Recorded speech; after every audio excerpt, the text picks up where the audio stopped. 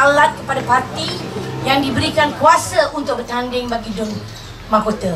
Dalam masa yang sama, saya tidak akan berjaya tanpa ada kerja daripada awak semua, kerjasama yang kuat dan juga kegigihan awak semua untuk melaksanakan tugas dan tanggungjawab yang diamanahkan oleh parti pada kita semua. Saya juga mengharapkan bahawa kita semua ni bekerja bukan untuk Syarifah Zizah. Lagi sekali saya ulangi lagi pasal takut orang tak perasan.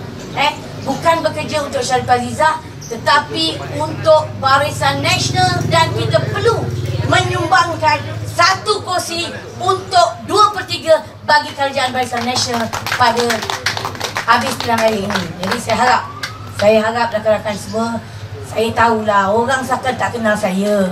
30 tahun saya jadi ketua wanita UMNO bahagian. 3 tahun saya menjadi setiausaha wanita UMNO bahagian. Sikap saya tak berbeza. Sikap saya daripada dulu sampai sekarang sama. Saya mengamalkan apa yang diajar oleh Allahyarham ayahanda saya. Pertama, pemimpin mesti memimpin. Jadi sebab itu, dari segi saya, kalau yang tak betul, pasti saya tegur. Tambah pula saya seorang ibu dan juga seorang atuk kepada 13 orang cucu. Ha, jadi benda tu nenek, nenek dari nenek.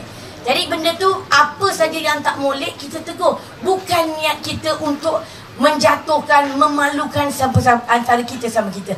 Kerana kita kena ingat, kalau kita dapat 23, bukan saya saja yang senang.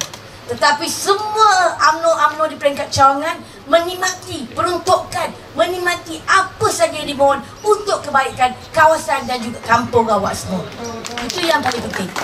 Ha? Bukannya kata, kalau tidak, kita dah rasa 22 bulan. 22 bulan kita diperintah. Nak betulkan longkang pun tak mampu. Kajak kaki dan kerajaan pun tak pandang ke kita. Ha, jadi hari ini kita jangan berbalah. Kita kena hidup bersatu.